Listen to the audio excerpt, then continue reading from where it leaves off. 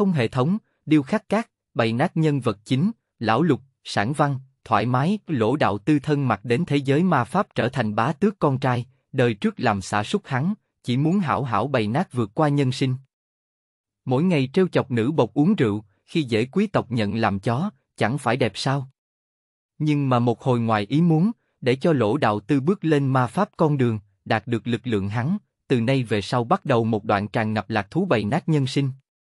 Tu luyện là không thể tu luyện, đời này cũng không thể tu luyện, chỉ có thể dựa vào hấp thu ma pháp vật phẩm thăng cấp, mới có thể duy trì cuộc sống như vậy. Chương 1 Đời này, mở bay. Bạn đang nghe tại truyện chấm audio. Đã có lỗi xảy ra trong quá trình lấy test. Chương 2 Suy nhược tinh thần lực. Bạn đang nghe tại truyện chấm audio. Đã có lỗi xảy ra trong quá trình lấy test.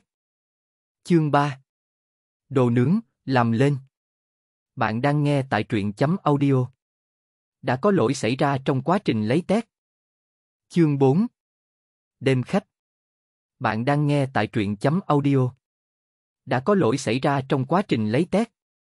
Chương 5 Ta trình bày ngươi mộng. Bạn đang nghe tại truyện chấm audio. Đã có lỗi xảy ra trong quá trình lấy test. Chương 6 Di tích. Bạn đang nghe tại truyện chấm audio. Đã có lỗi xảy ra trong quá trình lấy test. Chương 7 Vạch mặt. Bạn đang nghe tại truyện chấm audio. Đã có lỗi xảy ra trong quá trình lấy test. Chương 8 Lưu đét phản kích. Bạn đang nghe tại truyện chấm audio. Đã có lỗi xảy ra trong quá trình lấy test. Chương 9 Đường ra. Bạn đang nghe tại truyện chấm audio.